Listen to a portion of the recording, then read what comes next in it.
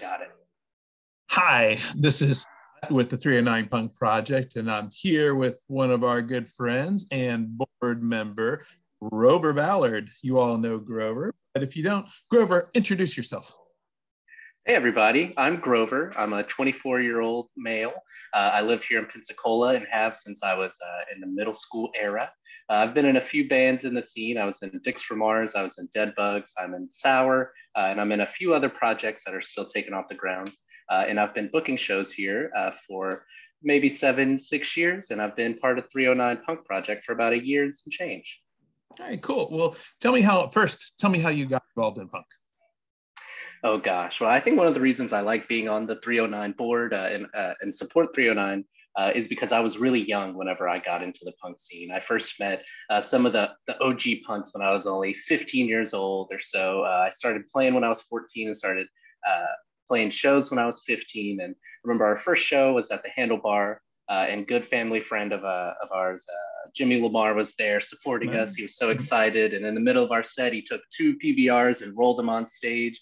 And our moms went, Jimmy, you can't feed them PBR. They're only 15. Uh, but since then, I, uh, Jimmy helped uh, helped get me into it at a young age. Terry, of course, from Sluggo's, and then people like Eliza and Famous Gabe, people I met when I was really young, just trying to play as many shows as I could. I was in that band Dicks from Mars, and we would play maybe three shows a week during uh, a certain summer. Uh, so we were trying to get as many friends as possible, and it worked.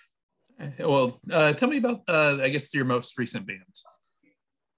Uh, right now, uh, I, uh, before the plague, I was in a band called Dead Bugs, and we did some cool stuff. We went on tour maybe four or five times, and put um, out a um, really cool record. I should say. Put out a really cool record. I got it printed on cassette and vinyl. Uh, but now I'm in a, a, a film band called Sour, who's rooted here in Pensacola, but we all live in different places. Uh, they all live in the big cities, while I'm here in the in the little capital of the world. But uh, besides that, I also just try to play with as many people as I can because it's a small community, and the more people you can jam out with, bring their ideas to life, I think the better. Right. So, what about 309? So, when was the first time you went to 309?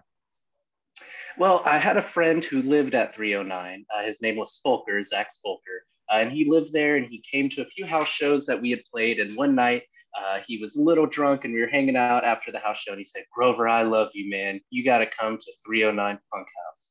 And i said what what is a punk house? And he's like it's a house where all people care about is punk. And i looked at my friend drew who's in dicks for mars with me back then and i said that doesn't exist. There's no such thing as a house that's only punk. I said this is a little too fantastical for me.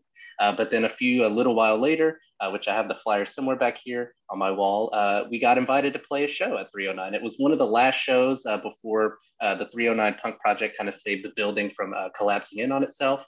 it was a fundraiser show. It was Dicks from Mars, Little Wimp, and Resolve, and maybe one other band as well. and it was really great. I think the other band was Crotch Rot with two T's. I remember them. They were the stinkiest band in town, really smelly. so it's not just a name. Not just a name. Which flyer is it? Can you point to it?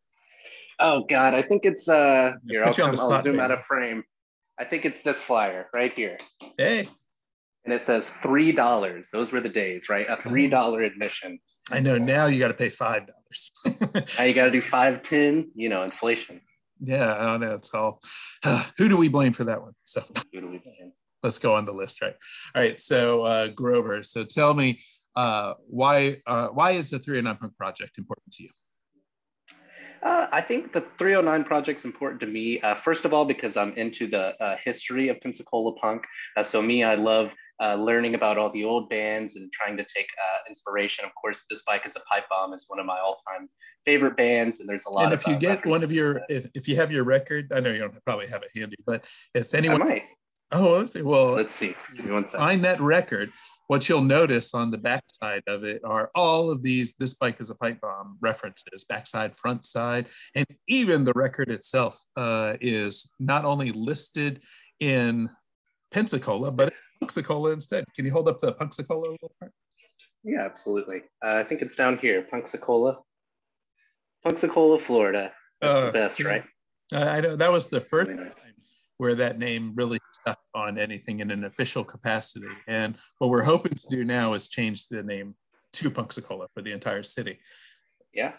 that'll take a big referendum. So uh, we're putting you in charge of that effort. We're gonna have to bully the mayor, the, the older Grover versus the younger Grover. Uh, the clash of the Grovers. We'll see how see who wins in the end. but, uh, so, so I cut you off now.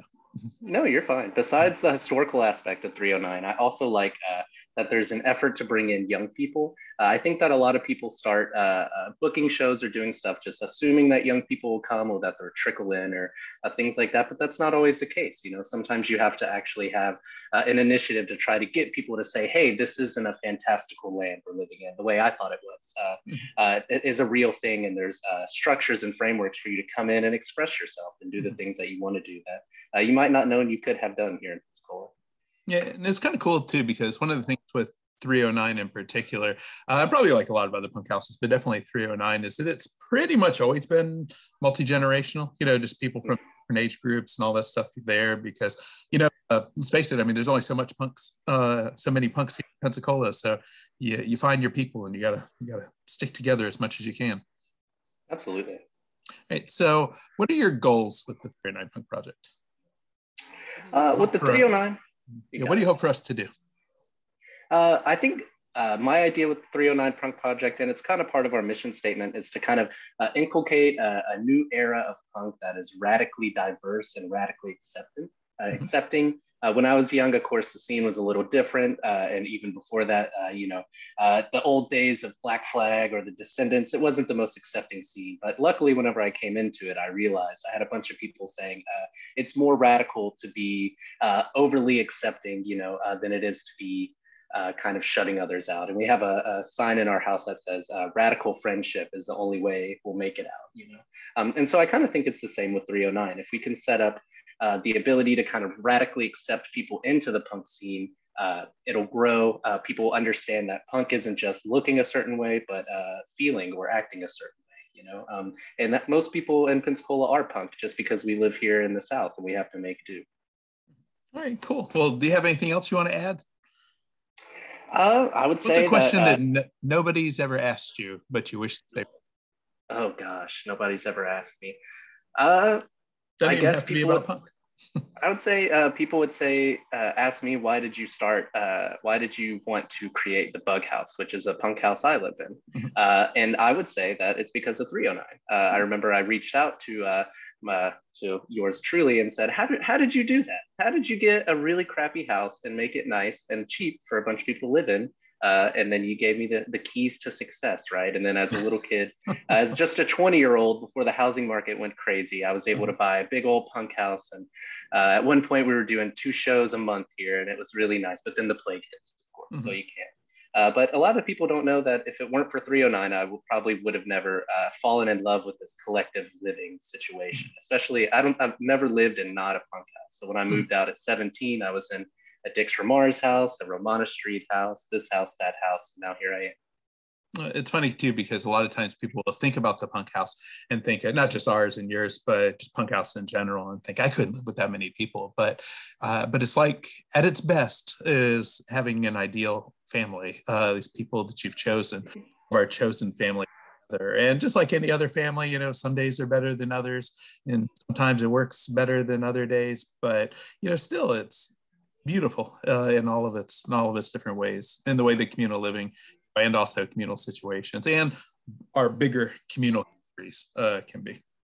Yeah, absolutely. I'm blessed to have 309, the Bug House, and all the uh, Pensacola punk scene uh, on my side, are all all working together to make things work for the better, which is what we have to do in this small little city. Yeah, most def. So, well, I really appreciate your time, and thank you so much uh, for all that you do for the community, uh, all that you do for the punk scene, and all that you do everywhere uh, where you're present. So we're fortunate to have you on. So thank you, Grover. Thank you, Scotty. I appreciate it. All right. Where's my stop button? Pause.